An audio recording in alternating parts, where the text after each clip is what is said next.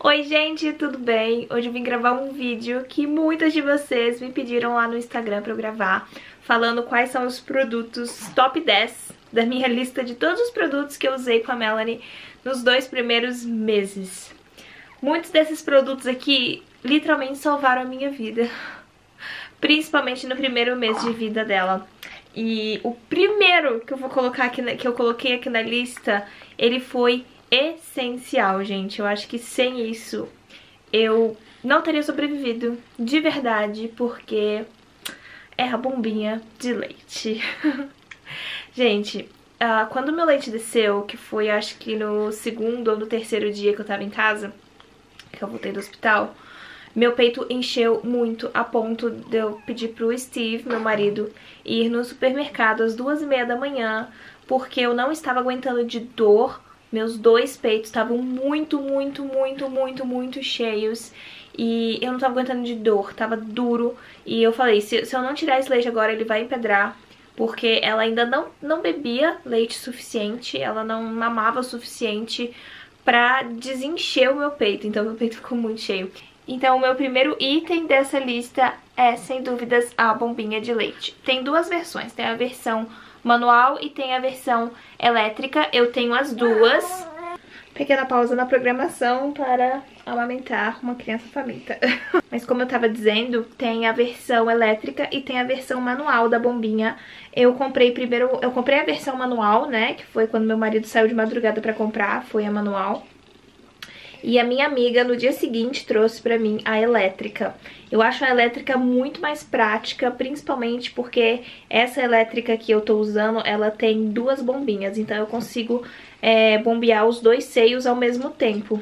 E a manual eu tinha que tirar de um e depois tirar de outro, além de ter que ficar apertando, né? Ela tem, você tem que ficar bombeando o tempo todo pro leite ficar saindo. Então, elétrica pra mim é a melhor opção mas se você não tiver condições de comprar elétrica, a manual vai te atender super bem. Você vai ter que ter um pouquinho mais de paciência, porque você vai ter que fazer... Você vai ter que fazer primeiro num seio e depois no outro. Mas item número 1, um, bombinha de leite. Item número 2, gente, é essa coisinha aqui maravilhosa. Este pad. É tipo um trocador portátil e ele é muito útil, principalmente quando você vai sair de casa ou quando você tem que trocar o bebê de madrugada. Então, a Melanie, ela dorme no quarto com a gente, ela ainda não dorme aqui no quarto dela. Então, de madrugada, quando eu preciso trocá-la, eu não trago ela pro quarto dela para trocar do trocador. Eu troco na cama mesmo, então eu coloco esse pad na cama e coloca lá em cima. Ele é super fácil de limpar. Tem uns que são de couro, tem outros que são de plástico, essa parte que você deita o bebê. Então é só passar um paninho úmido e limpa tudo. Esse aqui, em específico, eu tenho dois. Tem um que fica na bolsa dela que é de plástico, e tem esse que ele é um tecido, mas ele é um tecido que é muito fácil de limpar. Então eu simplesmente jogo ele na máquina e coloco pra lavar junto com as roupinhas dela e sai limpinho. E sério, gente, se não fosse por ele, eu acho que o primeiro mês teria sido, assim, terrível, porque eu tinha que acordar toda hora pra amamentar e pra trocar a fralda dela. Então, se toda vez que eu tivesse que acordar, eu tivesse que trazer ela pro quarto dela pra poder trocar a fralda no trocador, eu não ia conseguir voltar a dormir, eu ia ficar exausta. Então isso aqui foi muito prático, eu colocava ela pra dormir do lado da nossa cama, colocava ela na cama, trocava a fralda e depois colocava ela pra dormir de novo. Eu não gastava nem 5 minutos pra trocar a fralda dela.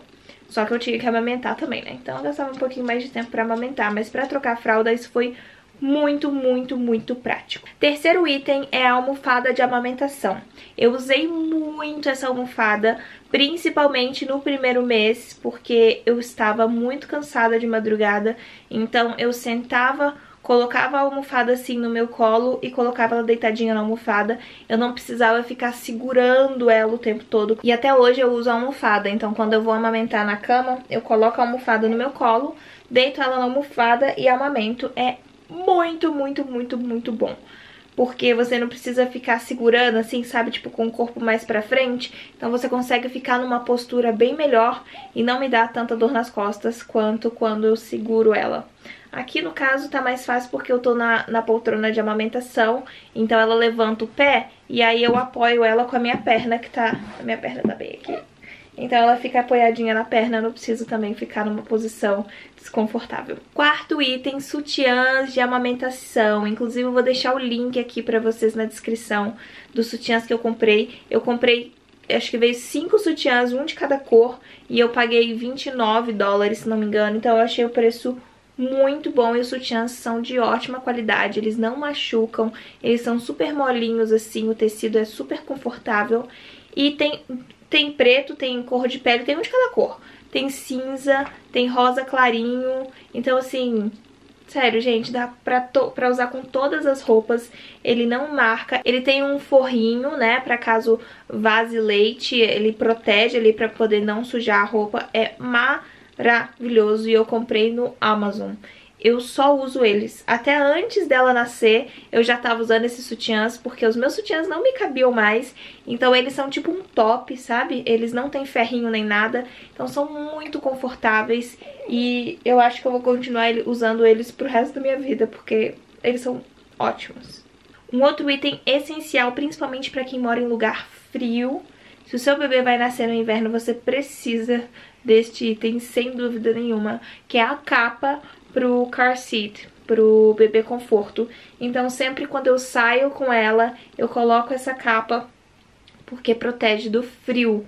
É muito prático, eu coloco no carro, trago ela pra casa e depois quando eu vou sair com ela de novo, eu coloco de novo e coloca ela no carro, ela não, não sente frio, não venta. E além disso, essa capa também serve para várias coisas, inclusive para amamentar.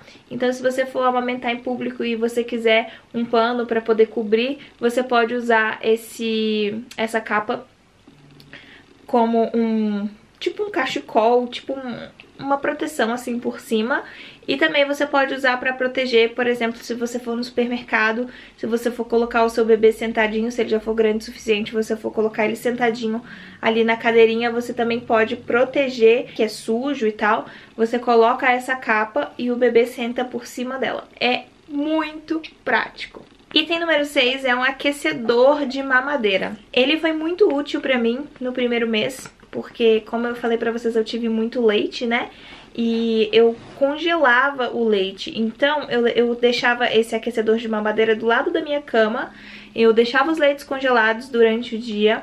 E à noite eu pegava sempre um sachêzinho um saquinho de leite congelado e deixava dentro desse aquecedor sem ligar, deixava lá. Quando ela acordava, eu ligava esse aquecedor, então ele ia descongelando o leite a banho-maria e depois, eu quando ele já estava descongelado, eu passava para mamadeira e deixava lá mais um pouquinho só para ficar na temperatura morninha assim, que é a temperatura que ela gosta do leite. Ela não bebe leite gelado, gente. Eu já tentei dar de tudo quanto é jeito. Ela não bebe, ela só bebe leite morno. Talvez eu tenha deixado ela mal acostumada. Mas, enfim, e também dar mamadeira é um assunto para um outro vídeo que eu vou fazer pra vocês, porque muita gente fala que não pode dar mamadeira, porque aí depois ela, te, é, ela faz confusão de bico e não pega o peito. Eu vou fazer um vídeo pra vocês depois explicando por que que eu decidi dar mamadeira pra ela e eu bato o pé e tem que dar assim, pelo menos pra mim, pros meus filhos, eu vou dar mamadeira sim, eu acho importante. Depois eu vou fazer um vídeo explicando direitinho os meus motivos para isso. Mas, sim, esse aquecedor de madeira foi muito, muito útil. Além de aquecedor, ele também é esterilizador, então é, quando eu preciso lavar as mamadeiras e esterilizar, eu uso ele. E também quando ela começar com a introdução alimentar, eu posso congelar as comidinhas em potinhos e depois descongelar nesse aquecedor de mamadeira, porque ele é multiuso, ele serve para várias coisas. Item número 7 é o White Noise e luminária. Essa luminária que eu comprei, ela tem vários barulhos, né? Ela tem duas funções, tanto de luminária quanto de white noise. Então ela faz vários barulhos e a gente sempre dorme com barulho de chuva. Até eu já me acostumei com esse barulho. Então, isso fez com que eu criasse uma rotina pra ela. Hoje ela já sabe que quando tá, enquanto tiver o barulhinho de chuva no quarto, é porque tá na hora dela dormir. Esse modelo que eu escolhi, ele tem a opção de programar pelo celular, então tem um aplicativo, você conecta ele com o seu celular pelo aplicativo e você pode programar. Então ele liga todas as noites às 10 horas da noite e desliga toda manhã às 9 horas da manhã. Então ela já sabe que se, se o barulhinho de chuva tá ligado é porque tá na hora dela dormir e funciona super bem, gente. Quando eu vou pro quarto com ela e deito na cama e ela já escuta o barulhinho, ela se acalma e dorme. E além disso, ele também tem a luz, você pode trocar as cores da luz, né, deixar a cor que você quiser. E também tem outros barulhos, não é só barulho de chuva, mas esse é o barulho que eu mais gosto. Mas tem barulho de televisão, chiado de sim de televisão, tem barulho do útero, tem barulho de mar, tem barulho de natureza, de passarinho. Então você pode escolher o que você prefere. É... E aí você deixa a luz também na intensidade que você quiser. Então eu deixo uma luz ali meio termo, nem muito clara e nem muito escura, porque eu gosto de ter uma luz ali pra poder enxergar, principalmente na hora que eu for trocar a fralda dela, pra não precisar acender a luz do quarto. Eu só aumento um pouquinho a intensidade da luminária que fica do meu lado da cama. E eu consigo enxergar perfeitamente pra trocar a fralda dela, depois eu diminuo um pouquinho a intensidade volto ela pro, pro Moisés pra ela poder voltar a dormir. E ela gosta de luz, se tiver tudo escuro ela não dorme. Então ela gosta de ter um pontinho de luz ali Desde, assim, desde a primeira semana, é assim. E tem número 8, é a lixeira. A gente comprou essa, essa lixeira, eu vi vários reviews antes de comprar, muita gente falando que não funcionava, mas a maioria falando que funcionava muito bem. E eu tô usando, desde o primeiro dia de vida dela, eu estou usando essa, na verdade desde o segundo, né, porque a gente veio pra casa no segundo dia. Mas eu tô usando essa lixeira e ela é maravilhosa, não deixa cheiro nenhum de fralda no quarto. Ela tem um sistema que ela fecha, então a fralda que tá ali dentro, o, o cheiro não sai, o cheiro fica dentro da lixeira porque ele, ele fecha ali. Você joga a fralda, ele abre assim, joga a fralda, depois ele fecha de novo o saquinho. E ele também tem os, os refis do saquinho que você pode comprar separado. Então essa lixeira é maravilhosa maravilhosa. Eu só jogo o, as, as fraldas dela nessa lixeira, porque se eu jogar em qualquer outro lixo da casa, fica cheiro. Mas nessa lixeira não sai cheiro nenhum. Vou deixar o link aqui também pra vocês do Amazon, pra quem tiver interesse em comprar. Ela não foi cara, eu paguei acho que 35 dólares na época que eu comprei. E não me arrependo. O item número 9 é o Moisés. E esse Moisés, gente, ele custou tão baratinho. Eu acho que eu paguei tipo 39 ou 38 dólares no Walmart nesse Moisés e ele tem rodinha. Então eu deixo ela dormindo no Moisés, ele fica do lado da nossa cama durante a noite, o que é ótimo, né? Porque é super prático e a gente pode levar ele para qualquer lugar da casa. Então, quando ela tá dormindo, por exemplo, e eu preciso fazer alguma coisa na cozinha ou na sala, e eu quero que ela fique ali por perto para eu poder ficar olhando, eu pego, coloco ela no Moisés e vou levando o Moisés, arrastando, né, porque ele tem a rodinha, pra casa toda. É muito, muito prático, foi muito barato e tá nos servindo muito bem. E o item número 10 é o Colic Calm. Gente, esse remédio foi maravilhoso. Primeiro que eu tava dando ele errado, né? Eu não tava fazendo efeito. Por quê? Porque eu tava dando o remédio errado. Eu não tinha chacoalhado o remédio, ela tava tomando só o xarope do remédio. E o remédio em si mesmo não tinha. Quando eu descobri que eu tinha que chacoalhar o remédio, o remédio é preto. Ele é bem, bem, bem preto. Tanto é que quando o bebê faz cocô, você vê que sai os pedacinhos pretos assim do remédio, sabe? Mas ele é maravilhoso. Ela teve muita cólica, agora já melhorou bastante, ela não tem tanto. Mas quando ela completou umas duas, três semanas de vida, ela começou a ter muita cólica. E aí eu comecei a dar o Colic Calm pra ela. Eu dava duas vezes por dia. Então eu dava às 8 horas da noite, pra poder fazer o efeito durante a noite, a madrugada.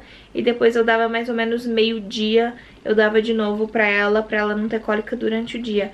E foi maravilhoso. A gente usou, acho que durou um mês o potinho, então durou bastante tempo. A gente não dava várias vezes por dia, né? Tem gente que dá quatro vezes por dia pro bebê, eu só dava duas vezes e tinha dia que eu nem precisava dar. Mas ele fazia um efeito muito rápido. Ele não é um remédio, né? Na verdade, ele é homeopata e não faz mal pro bebê. Então eu até perguntei pro, pro médico dela se eu poderia, se eu poderia dar, né, o cólico calma. Ele falou que não tinha problema nenhum. E foi maravilhoso, gente. Foi muito, muito bom. E ele faz efeito muito rápido, isso que é o melhor. Porque quando o bebê tá com cólica, você dá o remédio, ele já... Sim, em questão de 5 minutos, o bebê já para de reclamar de cólica. Então esse foi o meu décimo item. E eu espero que vocês tenham gostado desse vídeo, que tenha te ajudado em alguma coisa, se tiver alguma dúvida, deixa aqui nos comentários. Eu também envio produtos para o Brasil, se você quiser comprar algum desses produtos aqui nos Estados Unidos, eu posso enviar para você. Pode entrar em contato pelo esse WhatsApp, que eu vou deixar o número aqui, que a gente faz os orçamentos e tudo bonitinho. Muito obrigada por me assistir, se você gostou do vídeo, não esquece de avaliar e de se inscrever aqui no canal, caso você seja novo. Assim, toda vez que eu postar um vídeo novo, você vai ficar sabendo. Um super beijo e até o próximo vídeo.